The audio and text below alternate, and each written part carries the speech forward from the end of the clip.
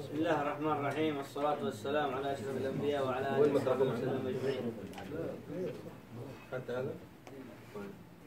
اللهم اغفر لنا ولشيخنا والحاضرين جميعا. حتى ما تعرف حتى على هذا. طيب يلا بسم الله تفضل. كتاب جلال الأفهام في فضل الصلاة والسلام على خيلنا محمد عليه أفضل الصلاة والسلام. اللهم صل على فصل. الموطن السادس من مواطن الصلاة على النبي صلى الله عليه وسلم بعد إجابة المؤذن وعند الإقامة. نعم. إذا هذا الموطن السادس من مواطن الصلاة على النبي عليه الصلاة والسلام. وهذا الموطن عند إجابة المؤذن وعند إقامة الصلاة. نعم انتبه لهذا أحسن الله عليك. نعم. لما روى مسلم في صحيحه لما روى مسلم. لما روى مسلم في صحيحه من حديث عبد الله بن عمر رضي الله عنهما أنه سمع رسول الله صلى الله عليه وسلم عبد يقول الله بن عمرو ولا ابن عمر؟ ابن عمرو. أيوه. جزاك الله خير. نعم. إذا سمعتم المؤذن فقولوا مثل ما يقول. هذا رقم واحد مشايخنا. السنة عند الأذان. الله يرضى عليكم. هذه نقطة مهمة وإحنا نذكر فيها. ليس معنى السنن أن نتساهل فيها. يعني الأدب مع الله لو أن جاك اتصال مهم أو كذا حتى تجد- تجدنا كلنا ذلك الرجل تخرج من المكان تماما لكي تجيبه صح ولا لا؟ صحيح. صح؟ توقف الدرس أو توقف ال- الكلام وكذا بالله بس دقيقة أجيب وأرجع ثاني. فما أعظم أنك تجيب النداء؟ فلا مانع إذا كنا نحن حتى وإن كان استحبابا أخي المبارك ما في مانع. جزاك الله خير أنه نتوقف قليلا عما نحن فيه ونجيب إيش؟ ونجيب النداء لما فيه من الأجور العظيمة. لما فيه من الأجور العظيمة. هذا رقم واحد. إذا سمعتم النداء فقولوا مثل ما يقول المؤذن. وجه الدلالة الأخرى. هل كل نداء قالوا حتى وإن كان في الراديو؟ قالوا إن أذن أكثر من مسجد. وجهان للعلماء. قال أن تجيب المسجد الذي ستنوي الصلاة فيه. والوجه الثاني قالوا لا مانع أن تجيب كل المساجد. مرات من رحمة الله تلقى بيتك يحد بعدة إيش؟ مساجد. قالوا لك أن تجيب المسجد اللي أنت ستصلي فيه ناوي أنك تصلي فيه. قالوا ولا مانع إن أجبت جميع المساجد. نعم. ثم صلوا علي فإنه إذا أول شيء طيب تأتي الحيعلتين حي على الصلاة حي على الصلاة حي على الفلاح حي على الفلاح. جاء من حديث إلا في الحيعلتين أنك تقول لا حول ولا قوة إلا بالله. وضحت بعد ما انتهيت أنت من إجابة المؤذن كما يقول تصلي على المصطفى عليه الصلاة والسلام والصيغة الصلاة الإبراهيمية. هذه السنة الإيه؟ الثانية. السنة الأولى تجيب المؤذن سواء كان في راديو أو في تلفاز أو في أي شيء. السنة الثانية أنك أنت تصلي على النبي عليه الصلاة والسلام الصلاة الإبراهيمية. نعم. ثم صلوا علي فإنه من صلى علي صلاة صلى الله عليه بها عشرة. عليه الصلاة والسلام. ثم سلوا لي سلوا الله لي الوسيلة. أي- أيوة الثالثة اللهم رب هذه الدعوة التامة والصلاة القائمة آت محمدا الوسيلة والفضيلة. ما فيش والدرجة العالية الرفيعة ولا في آت سيدنا محمد. هو سيدي وسيدك ولا وسيد ولد آدم صلى الله عليه وآله وصحبه وسلم. لكن ليس هذا الموطن فيه لفظ سيد. إحنا نتبع اللي جاء عن مين؟ عن المصطفى عليه الصلاة والسلام. اللهم رب هذه الدعوة التامة والصلاة القائمة. آت محمدا الوسيلة والفضيلة وابعثه مقاما محمودا الذي وعدته. في رواية عند الطبراني أو عند الدار قطب البيهقي إنك, إنك لا تخلف الميعاد. بعض أهل العلم أعلها والبعض الآخر وصلها. فلا بأس إن قلتها ولا بأس إن لم تقلها. الأمر فيه فيه سعة هذه إذا الأول شيء أردد مع المؤذن أصلي على النبي بالترتيب ثم س... وبعدين نقول إيش؟ الوسيلة. فأيوة فمن سأل الله لي أيوة. يقول الشيخ اللهم ارزقني خلاص مش عايزين بقى إحنا قلنا البهلة دي مش عايزين. خلين ما تقول ما تقولوش حاجة. اتبعوا ما هو وارد. انت تبغى تقول شفاعة جزاك الله خير. عندك من الأذان والإقامة في إيش؟ في دعاء ادعي بما شئت من خير الدنيا آخرة لكن إحنا قلنا ودية اجعلوها يا أحبابي قاعدة مضطردة عندكم وانشروها بين الناس. في الذكر اتبع ما هو وارد. خلاص. إما أن تزعم أن كلامك أحسن من كلام النبي. هذا والعياذ بالله بلوى كبيرة أو تزعم أن النبي ما بلغش ما يجب أن يبلغه لمين؟ لأمته. من تمام الكلام. إيش بيقول أول الدعاء؟ اللهم رب هذه الدعوة التامة. ما فيش فيها نقص. عشان أنا أقعد إيش؟ أدخل وأرجع فيها من تلقاء نفسي. والأمر الثالث المهم يا أخوان الذي يكثر جزاك الله خير من التنطع والزيادة يحرم بركة الأذكار. لا تجد أن الذكر يغير فيه شيئا. ليه؟ لأنه متنطع. كل مرة جالس إيش؟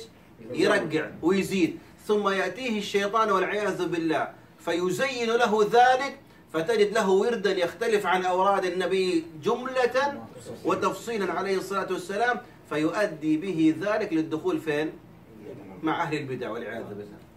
انتبهوا جلس الشيطان لابن آدم بالرصد وأتاه من عشرة أبواب. من الكفر فإن نجأ جاءه من البدعة فإن نجأ جاءه من المباح فإن نجأ أتاه من السنة. فإن نجا أتاه من الزيادة فإن نجا أتاه من النقصان فإن نجا أتاه من المعصية فإن نجا أتاه من الوسواء وهكذا. فانتبه اتبع ما هو وارد واحرص على فعله. فقط لا زيد في شيء. نعم. فإنها منزلة في الجنة لا تنبغي إلا لعبد من عباد الله تعالى. وأرجو أن أيوه. وأرجو أن أكون أنا هو. اللهم صل على أيوه نعم.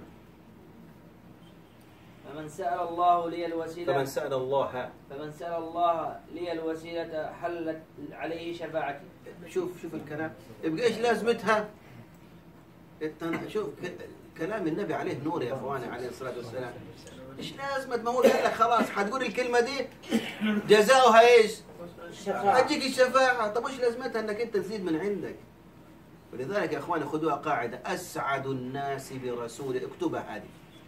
أسعد الناس برسول الله صلى الله عليه وسلم أهل السنة والجماعة. أسعد الناس برسول الله صلى الله عليه وسلم أهل السنة والجماعة. أما المبتدعة من نقرة الدحديرة من بدعة البدعة.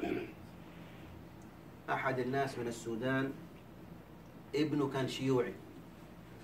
ملحد. وهو رجل عالم ابتلي في الولد ده. ثم دخل عليه يوما لابس أخضر فأخضر وسبحه ألفية في رقبته. قال له يا ولد أنت من بلوى البلوى. من الشيوعية دخلت في الشركيات والصوفية والسمانية والتجارية.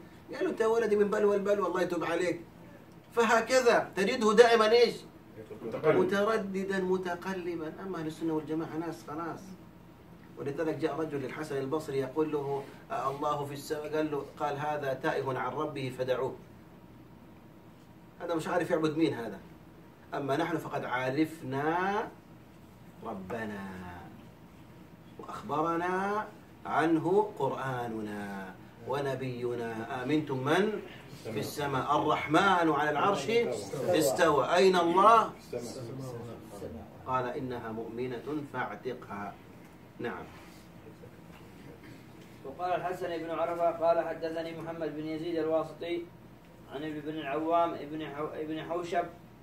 قال حدثنا منصور ابن زادان عن الحسن قال من قال مثل ما يقول المؤذن فإذا قال قال المؤذن قال قد قامت الصلاة قال اللهم رب هذه الدعوة الصادقة والصلاة القائمة صل صلى على محمد صل على محمد عبدك ورسولك. وأبلغه درجة الوسيلة في الجنة. دخل في شفاعة محمد صلى الله عليه وسلم. نقول هذا الحسن البصري رحمه الله ويرسل المراسيل وفي هذه خالفت حديثا صحيحا فتطرح ولا يعمل ولا يعمل بها. يبقى على ما هو عليه. بعض أهل العلم في مسألة الإقامة وهذا اختاره بعض أهل العلم قالوا لا نرى الإقامة من الأذان. إنما هذا خرج مخرج الغالب. وقال بعض آخرون بل الإقامة نداء لأن النبي عليه الصلاة والسلام يقول بين كل أذانين صلاة. يقصد الأذان الأول المعروف والأذان الثاني هو إيش؟ هو الإقامة. فيخرج في المخرج الأعم بين كل أذانين فسمى النبي صلى الله عليه وسلم الإقامة أذانا فدخلت تحت حديث إذا سمعتم النداء. نعم. وقال يوسف أما قول القائل إذا قال قد قامت الصلاة أقامها الله أدام هذه بدعة. قولوا مثل ما يقول المؤذن تقول قد قامت الصلاة. نعم. وقال يوسف بن أصباط بلغني أن الرجل إذا أقيمت الصلاة فلم يقل. وهذه من بلاغات يوسف كما هي بلاغات مالك وغيره من أهل العلم. نعم. اللهم رب هذه الدعوة المستمعة المستجاب لها. صل على محمد وعلى آل محمد. وزوجنا من الحور العين. قال الحور العين ما أزهدك فينا. وفي إجابة ما؟ أزهدك فينا. أيوة وزوجنا بالحور العين نعم أيوة. قالت الحور العين ما أزهدك فينا. نعم. يعني ما أرخصك فينا يعني نعم. وفي إجابة وفي إجابة المؤذن خمس سنن من عن رسول الله صلى الله إذا عليه وسلم. هذا كله من بلاغات والبلاغات باب من أبواب الضعيف والمنقطع. إذا يبقى العمل بماذا؟ بحديث عبد الله بن عمرو بن العاص هو الصحيح نعم عند مسلم وغيره. قد اشتمل حديث عبد الله بن عمرو رضي الله عنهما على ثلاث منها. نعم. والرابع أن يقول ما رواه مسلم عن سعد بن أبي وقاص رضي الله عنه عن النبي صلى الله عليه وسلم أنه قال من قال حين يسمع المؤذن أشهد أن لا إله إلا الله وحده لا شريك له وأن محمدا عبده ورسوله. رضيت بالله رضيت بالله رضيت بالله رضيت بالله ربا وبمحمد رسولا وبالإسلام دينا إلا غفر إلا غفر له ذنبه. وقال مشايخنا ولا يسوغ لك هنا أن تقول رضيت بالله ربا وبالإسلام دينا ومحمد صلى الله عليه وسلم نبينا ورسوله ما فيش نص الله عليه وسلم. وهذا موجود في أذكار الصباح والمساء. ما فيش صلى الله عليه وسلم ما تقولش صلى الله عليه وسلم. تبع تماما ما هو ما هو وارد. عيد هذه السنة الرابعة هذه. حديث سعد بن وقاص هو حديث صحيح نعم. من قال حين يسمع المؤذن أشهد أن لا إله إلا الله وحده لا شريك له وأن محمدا عبده ورسوله. رضيت بالله, رضيت بالله رضيت بالله ربا. وبمحمد قالوا متى. تقولها؟ قال إن أردت أن تجعلها بعد السنن الثلاث الذي ذكرناها أنك تردد مع المؤذن. وبعدين اللهم رب هذه الدعوة إيش؟ التامة والصلاة والقيامة محمدا الوسيلة والرحمة وبعدين تقول هذا الدعاء رضيت بالله ربا وبالإسلام دين محمد نبيا ورسولا. عليه الصلاة والسلام. والخامسة أن يدعو الله بعد إجابة المؤذن وصلاته على- على رسوله صلى الله عليه وسلم وسؤاله له الوسيلة. لم- ل- لما في سنن أبي داود والنسائي. من حديث عبد الله بن عمر بن عمرو. أن رجلا قال يا رسول الله إن المؤذنين يفضلوننا يفضلوننا. خلاص عدوا المؤذنين. المؤذنات نص عناقا يوم إيش؟ يوم القيامة. يفضلوننا. نعم. فقال رسول الله صلى الله عليه وسلم قل, قل كما يقولون. فإذا انتهيت فاسأل تعطه. فاسأل تعطى هذا فاسأل تعطى يعني سل الله عز وجل. إن إن إنما هذا إنما هذا يكون بين الأذان والإقامة. أما السنن الواردة بعد الأذان الترداد مع المؤذن ثم اللهم رب هذه الدعوة التامة ثم التهليل وقول رضي بالله ربا والإسلام دين محمد نبيا ورسولا. نعم. وفي المسند من حديث جابر بن عبد الله رضي الله عنه أن رسول الله صلى الله عليه وسلم قال من قال حين ينادي المنادي اللهم رب هذه الدعوة الدعوة القائمة والصلاة النافعة. صل على محمد وارض, وارض عنه رضا لا سقط بعده. استجاب الله له دعوته. دعوته. وهذه كلها أحاديث فيها معتلة. ولذلك الإمام ال- ال- ال- ابن القيم رحمه الله أورد كل ما جاء فيها من باب علم ما هو صح وما لم يصح. ثم جعل لو تعرفون من منهج العلماء جعل حديث الباب وحديث الاستدلال هو أول إيش؟ حديث. حديث عبد الله بن عمرو بن العاص عند الإمام. وهذا مسلم وهذا منهج العلماء. يجيب لك أول حديث هو ده حديث إيش؟